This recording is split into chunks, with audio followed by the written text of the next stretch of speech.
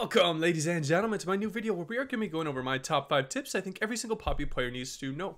Now, my goal behind this video is to make you a better League of Legends player as well as to give you a better understanding of Poppy as a whole. I'm going to put timestamps at every single point in the video. They're going to be up at the top of the page because I heavily value guys' time. I want to make sure that you are getting the most out of this video as possible. If you want to contact me directly with any questions, I'm going to put a pin comment down below with a link to my Discord. If you want to um, ask me about any builds or just get a, something like an OPG review, I'd be more than happy to help you out. I'm a little bit limited with this format, only doing five tips. So if you're an experienced Poppy player as well, I'd love to hear your guys' thoughts down below. And with all that out of the way, let's jump right into the video.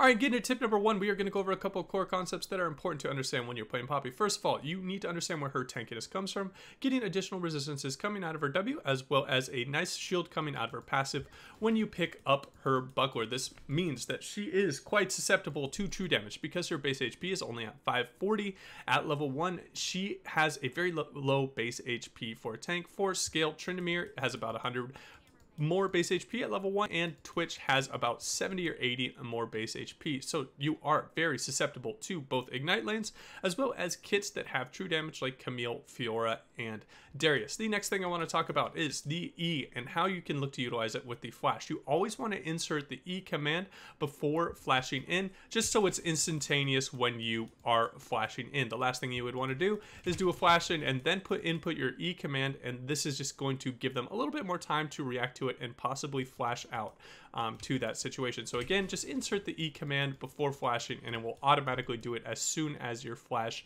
is uh, triggered. The next thing I want to talk about when you are playing Poppy is just a really nice basic combo that you can look to utilize when playing Poppy. We can start it off with the E flash, auto Q, auto R, auto and then we can look to W if they are trying to escape with some sort of mobility. What we are doing with the E and the R there is that we are ensuring that both instances of the hammer shock damage is coming down and we are getting the maximum amount of burst and lockdown on the enemy target while weaving in autos, getting Grasp procs and procking our Iron Ambassador and just really taking one enemy out of the game. And that will wrap up tip number one. All right, and getting into tip number two, we're going to talk about her strengths and where you should look to utilize and really play out as much the game as possible.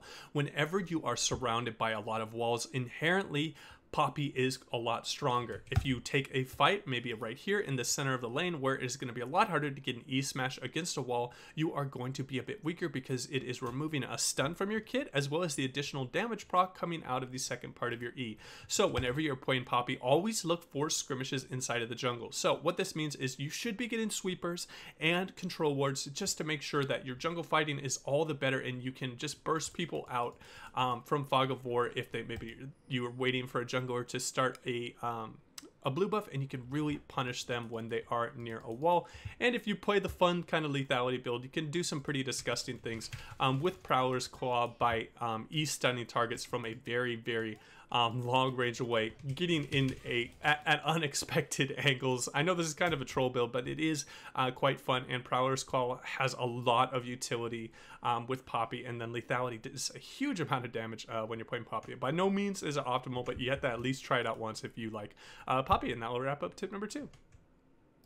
All right, and getting into the next tip, we are going to talk about how to fully use your R to the maximum amount of potential that it has. You can use it in several different ways. First of all, it is absolutely amazing with things like Samira and with Yasuo that really like when enemies are knocked up, um, as they are no longer made untargetable like they used to be when they are knocked up on a snap type of um, cast on this ultimate. It is also a great tool when there are multiple targets that are all clumped up, particularly when there's a bunch of melee champions. Just doing a snap cast of your R is going to be very, very effective. The next, next thing that you can look to utilize when you're playing Poppy in team fights is obviously you want to be looking to knock out as many targets as possible and then focus on the ones that are left. Now, an important thing to understand here is you will get the maximum amount of damage done as soon as the arrow goes a little bit out of this base circle at the start. You do not have to fully charge it up to get the maximum amount of damage. As you can see here, we're going to do a full windup, and that did about 564. And now we are going to just do a little bit more than a snap cast right there, and it did 564 as well. So you do not have to fully charge up and give them more time to dodge out of your ultimate. All you have to do is wait for it to get right outside of that circle, and it is going to do the maximum amount of damage on the target when you're playing Poppy. And that will wrap up this tip. All right, and getting into the next tip, we're going to talk about the disgusting amount of turnaround potential on Poppy and a very useful tip for taking optimal trades against targets. So, when Poppy is fighting, particularly melee champions, she can punish them quite heavily when she is getting chased by the enemy targets. And sometimes just running away from targets can make them think that hey I, I, win this 1v1 i should chase him down and try and kill him. So how you punish these things when you are getting chased by enemies is by just simply throwing out a Q in the straight line between you and the target. And one of two things is going to happen. Either they are going to run away which is completely fine or that they are going to chase further into you which is going to allow for your second proc of the hammer shock to go off on the enemy target and that is going to slow them and then you can look to turn around with your e and get your um, buckler charge. And if you aren't winning the trade, you can use your steadfast presence and run away, or you can use your ultimate to knock them away. But you can always look for these really, really nice traps where you bait them into a trade. This is particularly important when maybe you're just playing Poppy up in the top lane and you are just looking to auto them. Um, just do a really quick auto trade running backwards and queuing them is going to be a very effective way to end the trade because either they're going to over chase into you and get hit by the second part of your Q and you're going to be able to get away anyways because you are going to slow them on that Q.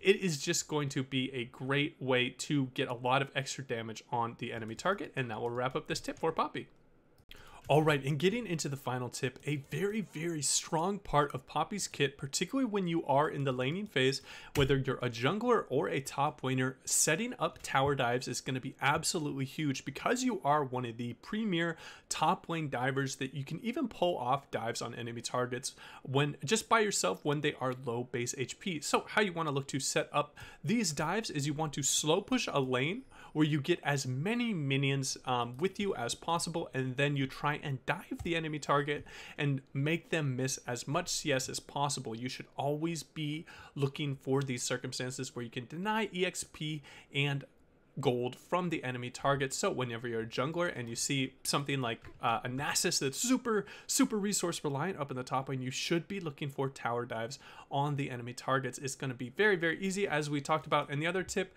inserting your E command into the flash is going to give them a very minimal time um, to react to your stun. And generally, particularly in lower elos, no matter what, when you are um, kind of circling the enemy targets, they're going to hug the tower. They're very rarely going to be um, making it hard for you to E dash in and get a wall stun on them. So consistently look for those tower dives. Make sure that you're using the shield from your passive that's going to eat up about one tower shot and then using the W afterwards to make sure that you can get out and then stop the mobility after you've stunned uh, the target and that stun time is up is going to be just a great way um, to punish the enemy target. So again, look for as many tower dives as possible when you are playing Poppy because she is a master at that. Getting that CC with her stun, setting up the Lee Q or the Nidalee Q, or setting up the top laner if you're a jungler to really burst out the enemy target is going to be a great way to get snowballing and get ahead on Poppy. And that will wrap up my final tip, guys. If you have any questions uh, for me about Poppy, you can hit me up in the comments down below. And as always, take it easy.